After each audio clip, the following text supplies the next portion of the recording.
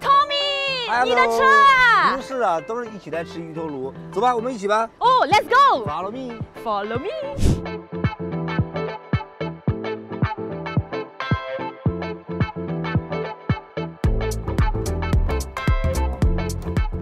今天哇，太荣幸了，带了一个本地的很高的网红，来一起来吃我们新加坡本地美食：古老肉、沙皮鸡、黄金螃蟹、避风塘虾、砂锅老鼠粉。我们先从最不能放的，也是最好吃的黄金螃蟹开始。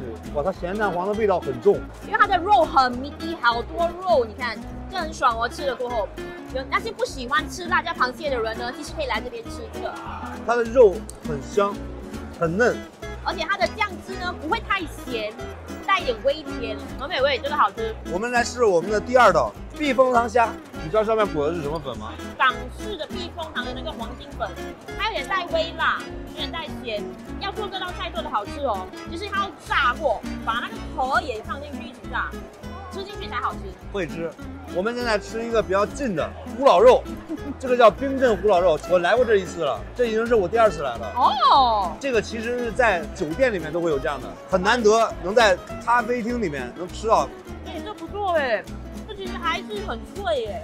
我现在要试我最爱吃的砂锅老鼠粉，哎呦，迷太棒！哇，你看那个猪油渣，满满的猪油渣，给你们介绍一个沙皮鸡，这个真的很特别，它的肉不是烤的，也不是鸭肉，它是鸡肉，沙皮鸡，对吧？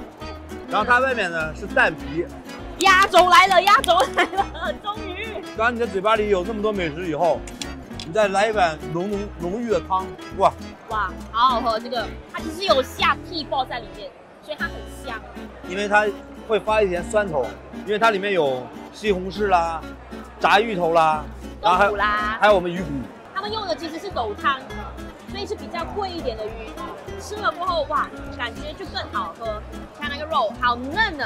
好，我们所有菜全试完了，说出今天你最爱的一道菜。豆汤炉，我爱吃的一个古老肉，一个螃蟹。今天你的推荐哦。我推荐本地人吃本地餐，我感觉有点打脸。Good recommendation，大家有时间可以来这试试啊。那就这样吧，我们下期见，拜拜。拜。